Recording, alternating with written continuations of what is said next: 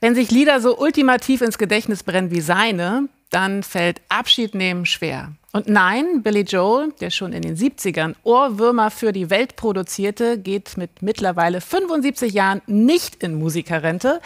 Aber er gibt heute das letzte seiner legendären Konzerte im Madison Square Garden, für die er zehn Jahre lang jeden Monat einmal von seinem Haus in Long Island aufgebrochen ist, um in New York City einen Abend lang auf der Bühne zu stehen und danach wieder nach Hause zurückzufahren zuletzt wohl sogar häufiger per Regionalbahn, um sich zu erden, wie Joe selbst meinte, bei der Fahrt durch seine Stadt, die von ihm so oft besungene, die Liebe seines Lebens. Carsten Schabowski.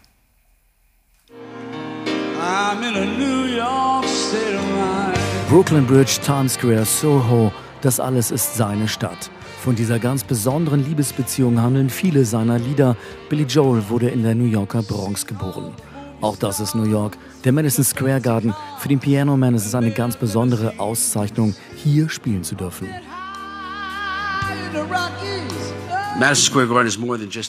Madison Square Garden ist mehr als ein Büro, das ist zu Hause. Wenn du nach Billy Joels Zuhause googelst, dann findest du Madison Square Garden. Das ist ziemlich cool. Which is kind of cool, you know. Billy Joel und sein New York. Auf seiner Homepage hat er alle Orte aufgeführt, die ihm wichtig sind. Zum Beispiel den hier, St. Mark's Place.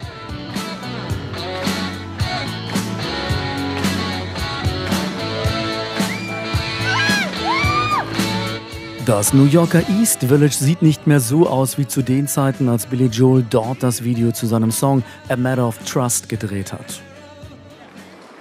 Auch so hat sich verändert wissen Jack Finano und Michael Grosvenor. Die zwei produzieren einen Musikpodcast, in dem es um Billy Joel geht. Auch sie kennen die Billy Joel Plätze in der großen Stadt. Das ist einer der wenigen Plätze, wo man den Werdegang von Billy Joel noch sehen kann. Hier hat man das Cover aufgenommen von Innocent Man im Sommer 83. 52nd Street, Scenes from an Italian Restaurant, Hudson River Line, das sind Orte, die in seinen Songs vorkommen. Billy Joel gilt für viele als der Prototyp eines New Yorkers. Er ist bereit zu kämpfen, er hat keine Angst vor also Konfrontation, er ist sehr schlau, er ist aber nicht nur ein harter Junge, er hat auch was zu sagen.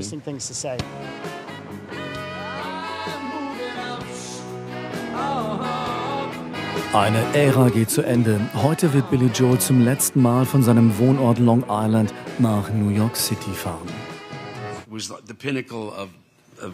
Das war der Höhepunkt meiner Karriere. Ich als Hauptakt. Alle kennen den Madison Square Garden. Jeder weiß, das ist nicht nur New York. Jeder feiert dich. Denn das ist der Garden.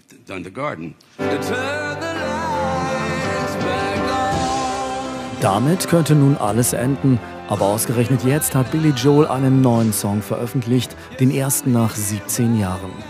Aber New York schläft ja auch nie.